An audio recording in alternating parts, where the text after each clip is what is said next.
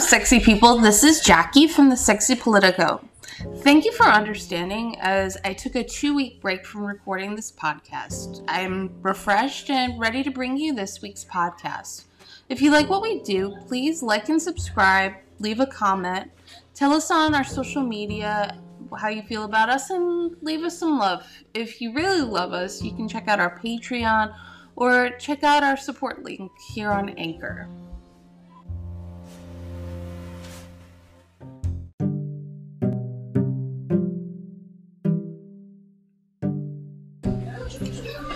Today, we're going to begin part four on women in the armed forces, and we're going to be talking about the Air Force.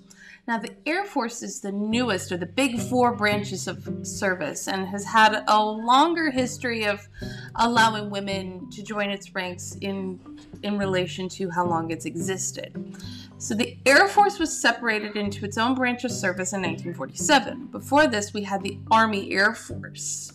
In 1947, members of the Women's Army Corps, or the WAC, were technically still in the Army, but they were performing Air Force duties. And in 1948, these women could transfer into the Women in Air Force, WAF, as we're going to call them from now on, if they wish to.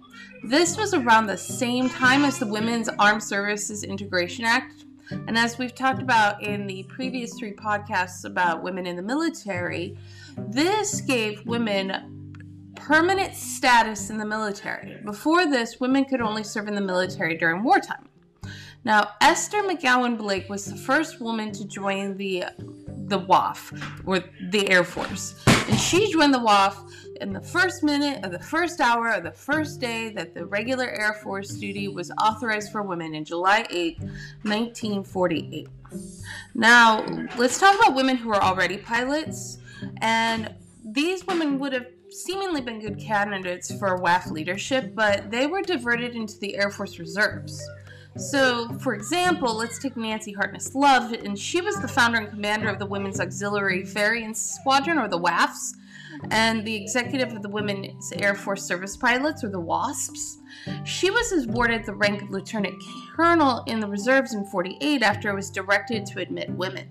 Jacqueline Cochran, who had volunteered in the Royal Air Force and had demonstrated some solid leadership by expanding the WASP program, was directed to join the reserves in 48, in which she rose to the rank of lieutenant colonel in 1969. The female pilots in the reserves, though, were not classified as military personnel. They were classified as federal civilian employees, and that distinction is very important.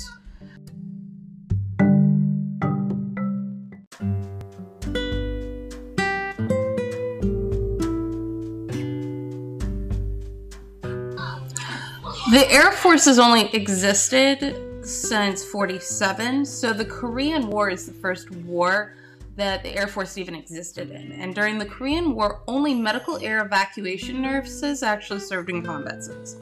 Other women were in Japan and elsewhere serving as air traffic controllers, weather operators, radar operators, and photo interpreters. During Vietnam, less than a thousand women served in Southeast Asia.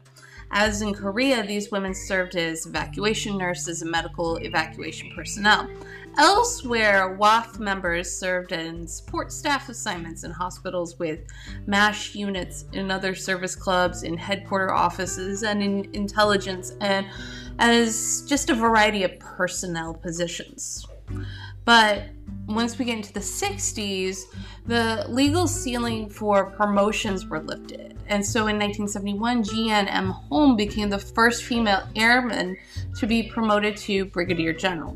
In 1976, the WAF was dissolved, and women joined the ranks of regular Air Force service members. And that same year, the Air Force Academy first admitted women.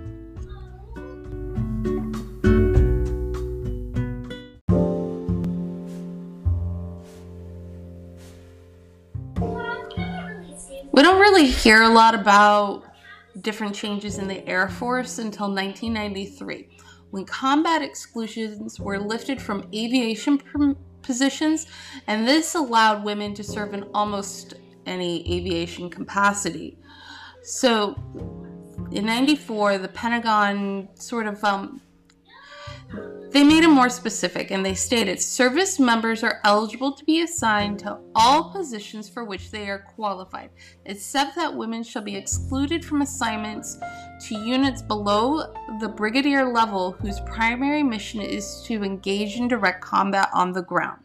That means so for the Air Force that's that means that most positions opened up to everybody because there aren't actually a lot of jobs in the Air Force that deal with direct combat. I mean, fighter pilots, sure, but we, we think of the Air Force as a bunch of fighter pilots just zooming off like Top Gun, but in reality, most of the Air Force is dealt with intelligence, you're you're fixing planes, your crew, you're not you, you're not shooting shooting people down with airplanes in most most cases. In 1993, Sheila Widnall became the first female Secretary of the Air Force, and that made her the first woman to lead a U.S. military branch in the Department of Defense.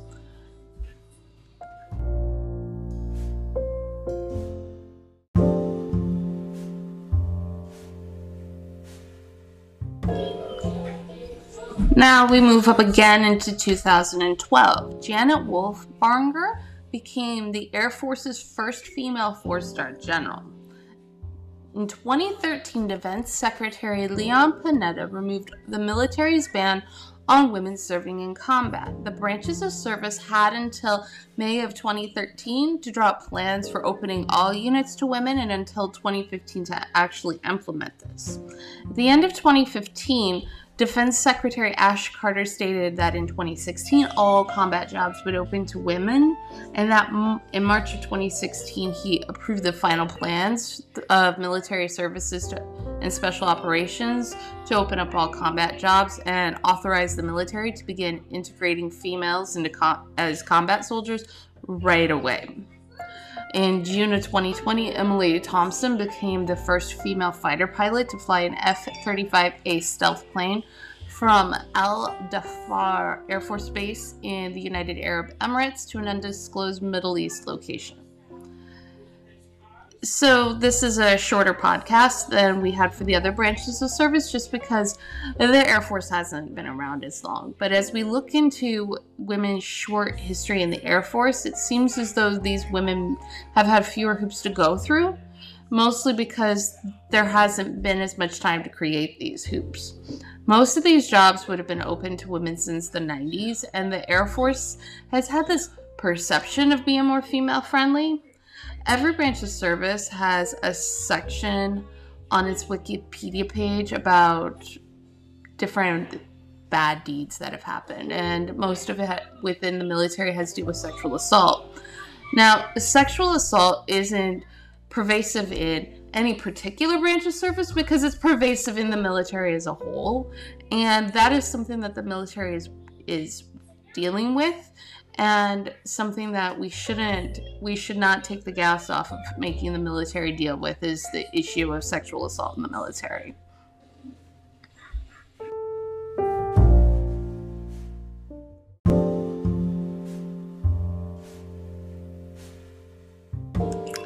The future, though, is quite bright for the Air Force. So, Space Force was created in 2019. It's not just a TV show. Space Force was created within the Department of the Air Force. And what this is doing is just creating these brand new opportunities. Space Force isn't NASA. Space Force is its own thing, but I'm sure that most of Space Force is also working with NASA. And who knows what's going to come out of that other than cool new uniforms and a TV show that's making fun of it. But this is the this is it though for this week's episode of the Sexy Politico podcast. Thank you for subscribing. Let me know what you would like to hear from us, and we will continue to bring great content. You can find us at thesexypolitico.com, and also you can look for search the Sexy Politico on any social media, and you should be able to find us. So, I hope you're doing well. Stay safe, stay sexy. Bye.